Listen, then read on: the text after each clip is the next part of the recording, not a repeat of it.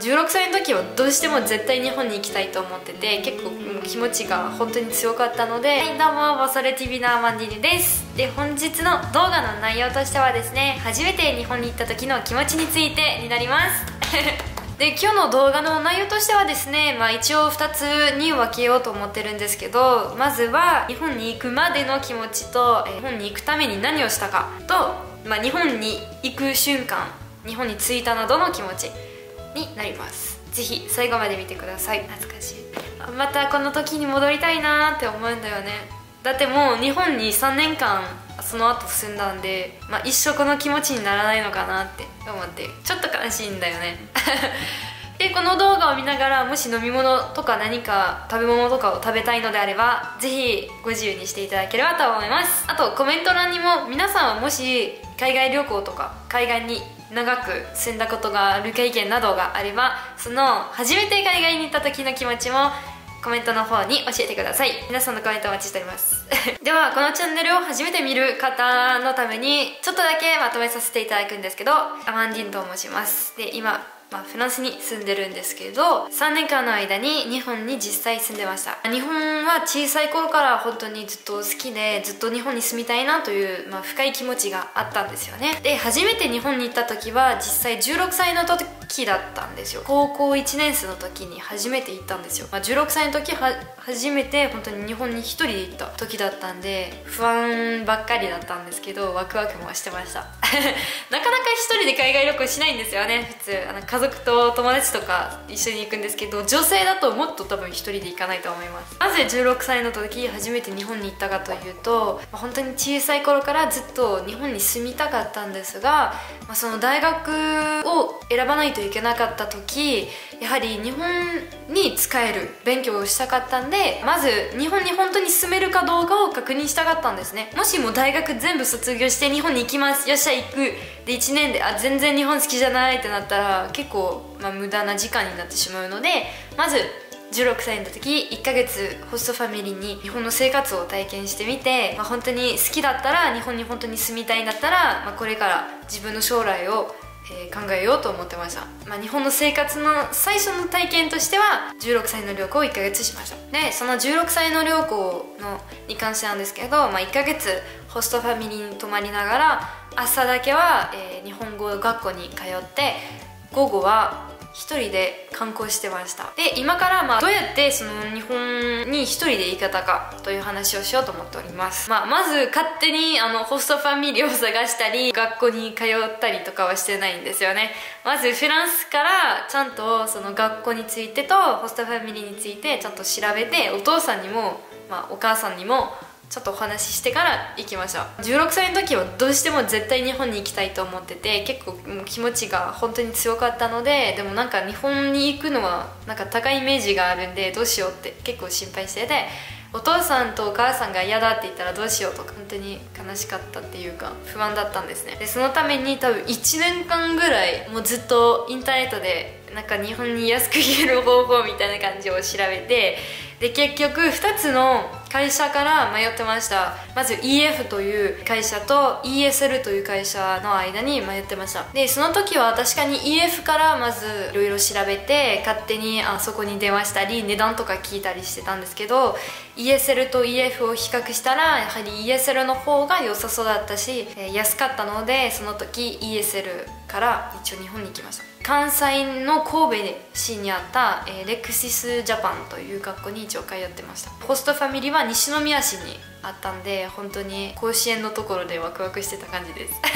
全然野球のルールは知らないけどなんか甲子園があるだけでお有名なところと思っててワクワクしてました。やはり16歳の時はなかなか海外旅行のためにどうすればいいかわからないし何を準備すればいいかも全然わからないのでまあいろいろ調べて時間かかりましたよねもちろん。本当に一人でお父さんとお母さんに相談せずに学校に電話してえー、値段を聞いたりホストファミリーも調べたり飛行機とか交通機関とか食べ物とか全部合わせてどのぐらいかかるかどうかまとめてお父さんに一応最終的に提供したんですよね。日本に行ったらこのぐらいかかるよ。でお父さんが質問しても大丈夫答えがあるよ。みたいな感じでお父さんに本当に訴求したみたい なイメージだったんですよね。私の日本の旅行営業みたいな感じあっちが不安があっても絶対答えられるように全部もう準備しました。で日本はやはり世界中の一番安全な国と言われてるので、まあ、なかなかお父さんが16歳で不安だとしても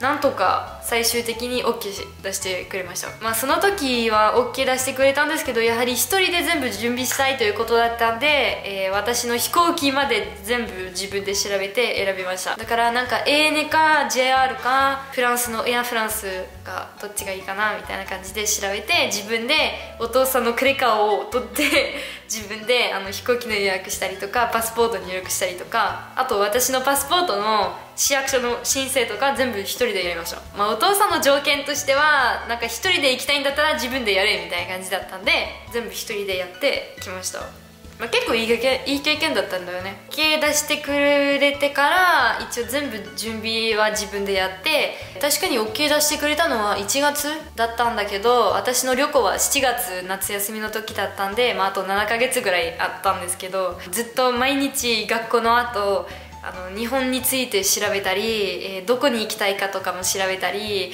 であのどこに行きたいかのリストだけじゃなくてガチ調べてたんだよね。例えば今日は富士見稲荷に行きたい。富士見稲荷はホストファミリーの住所から富士見稲荷までの、えー、何駅何番線 何時の電車に乗るかとかも全部まとめてたからガチやばい。情報の量だったんだよね。あとどのぐらいかかるか。例えばホストファミリーから、えー、伏見稲荷までこのぐらいの日本円かかって結局最終的に私の旅行はこのぐらいになりますみたいな感じで。もう全部調べてた。でもなんか結構面白かったんだよね。すごいワクワクしてた。なんかあもう本当に実現できるみたいな気持ちになってて本当に私京都に行くんだ。私本当に奈良に行くんだとか、まあ、本当にその気持ちになっててすごいワクワクしました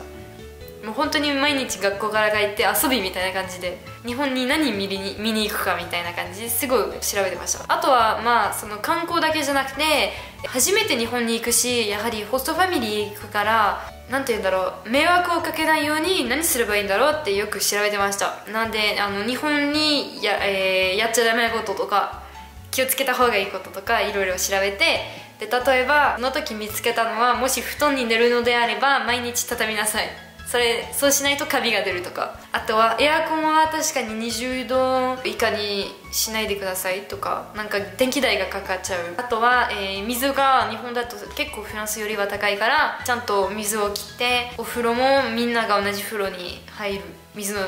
切り返しとかはあまりしないでくださいとか。そういう情報をいろいろ調べてもう日本に行った時はもうバッチリみたいな感じ気持ちだったんですよね。なんかもうテストがあるみたいに日本あの飛行機の中は普通に復習してました。これやっちゃダメこれやった方がいいとか。結構ギャチであのガチの気持ちで一応行きましたね。あの時は。あ日本に行く前一番楽しみにしたとことって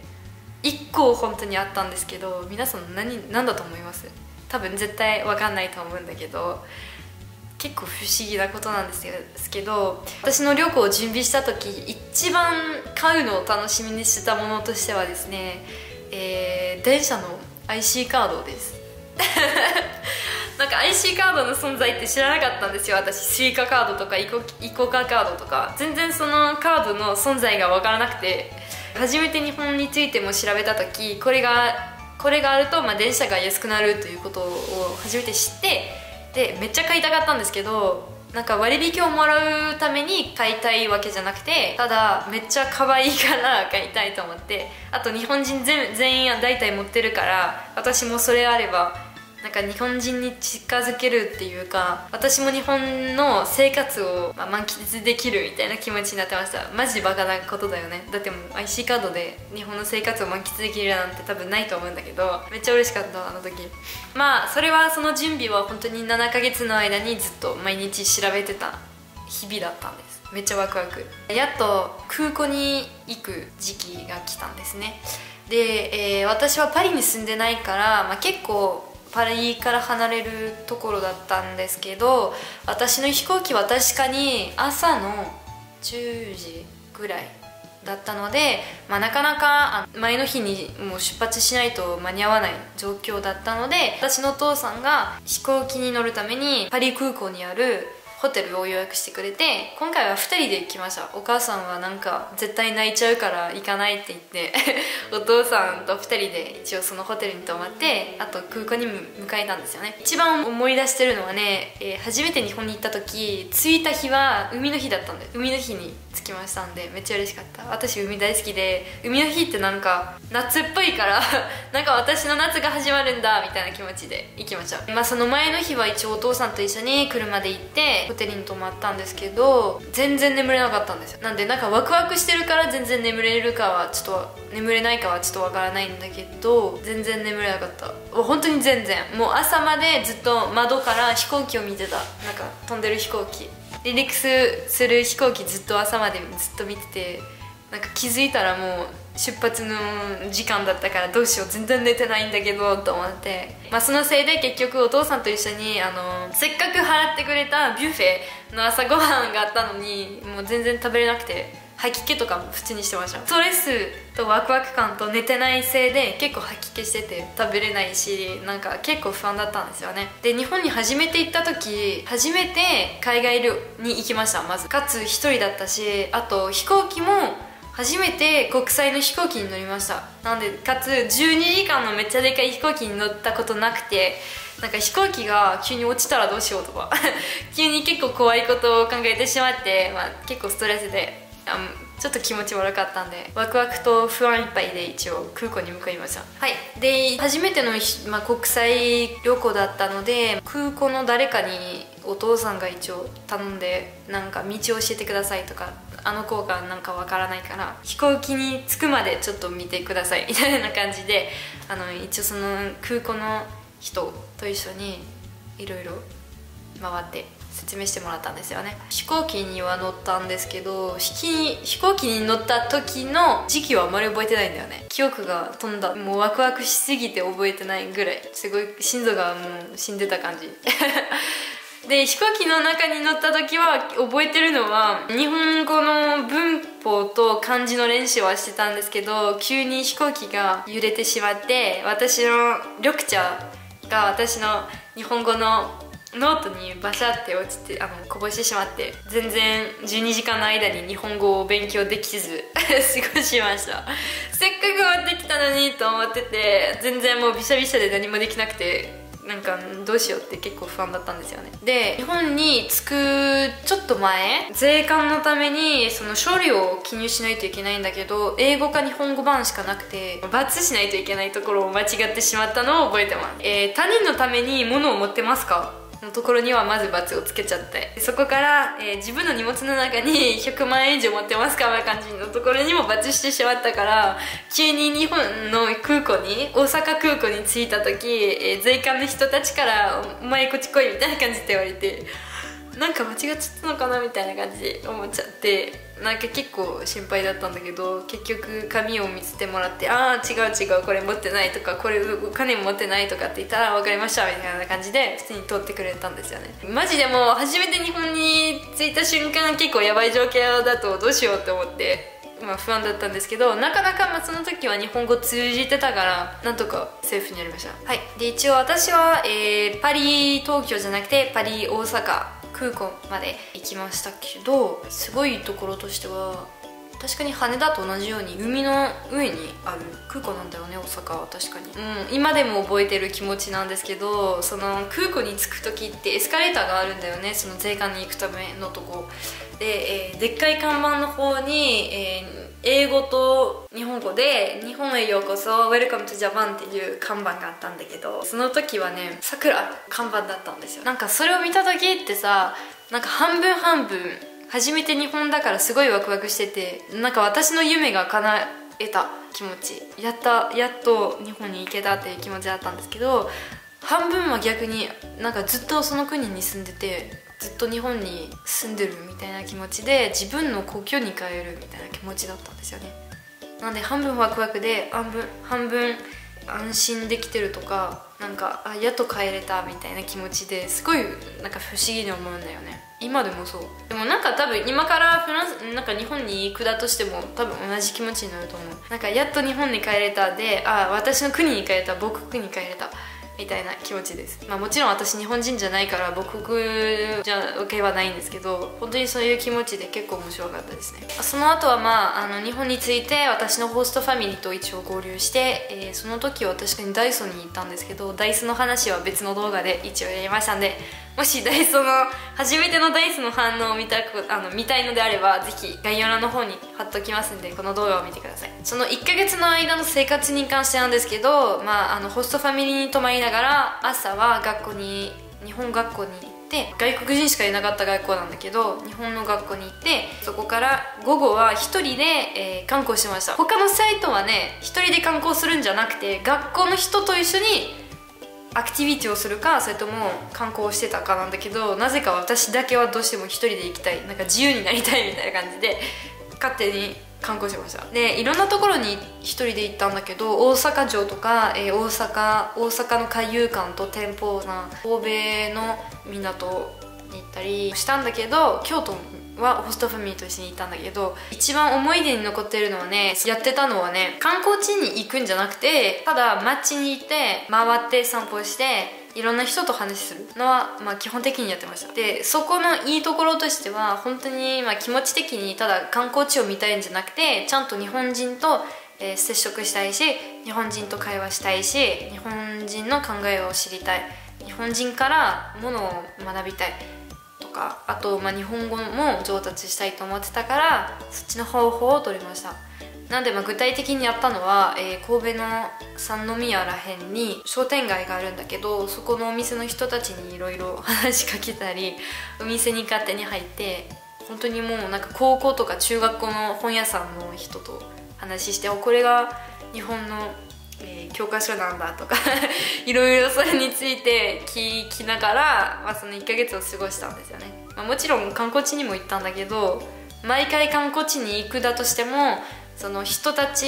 外国人と観光客じゃなくてそこの町に住んでる人たちに絶対会話しましたで大阪城の時もそうだったんですけどそこにいたショーをやろうとしてた日本人と一緒に会話をして、えー、日本について血を聞いたり、えー、大阪城の歴史について聞いたりとかいろいろしてたんですけど本当にそのおかげで多分日本語も結構上達できたと思いますし、えー、日本人の考え方と日本人の生活リズムとかにも合わせられたのかなと思います。まあ私のやっぱりその1ヶ月の旅行の目的としてはその日本人の生活に染まることだったんですよね。ただ観光地に行くだとしてももう結局観光旅行になって将来的に本当に日本に住めるかどうかの答えは出ないと思うんだよね。だってやっぱり日本人の生活と観光客としての生活って全然違うと思いますし